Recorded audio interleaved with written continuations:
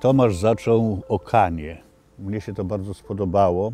Natomiast muszę Państwu powiedzieć, że zawsze mnie frapowało jedna, jedna, jeden fakt w tym opisie Kani Galilejskiej.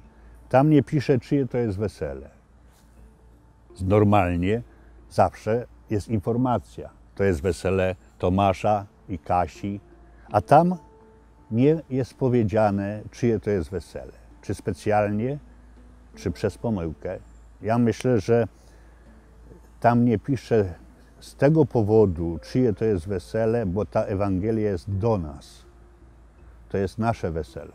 To jest moje wesele. To jest Państwa wesele.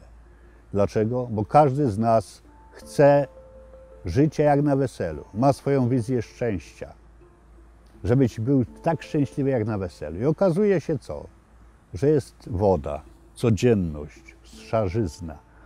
Nie ma jakiejś niezwykłości. Śmierć panuje nad nami, starzejemy się, chorujemy się. Mnie nawet ząb w tej chwili się złamał i straszę ludzi.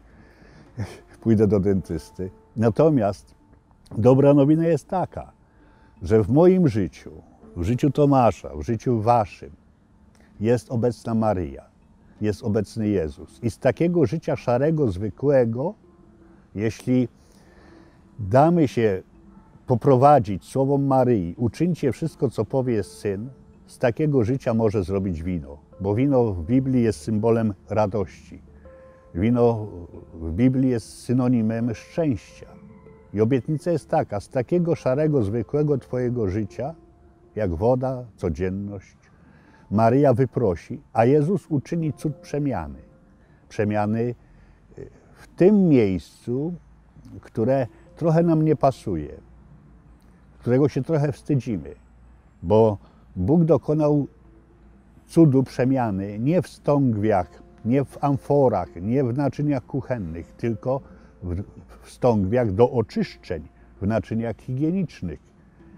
I ja myślę, że Bóg interweniuje na prośbę Marii w tych fragmentach naszego życia, którego byśmy się wstydzili. W miejscu słabości, w miejscu grzechu, w miejscu klęski. Jest to dobra nowina dla mnie, że w moim życiu, czasami przegranym, zmarnowanych okazjach, nie jest za późno. Bo starosta weselny mówi, dobre wino aż do tej pory zachowałeś. Na początek się daje dobre wino, a jak są pijani, to i pomy, pomoje wypiją. To jest dowód na, dla mnie, że nie jest za późno ani w moim życiu, ani w Twoim, ani w życiu Tomasza powiedzieć Maryjo, weź w Twoje ręce moje życie, a ja chcę być sługą w Kanie Galilejskiej i modlić się za innych grzeszników. Myślę, że to jest dobre orędzie na miesiąc październik.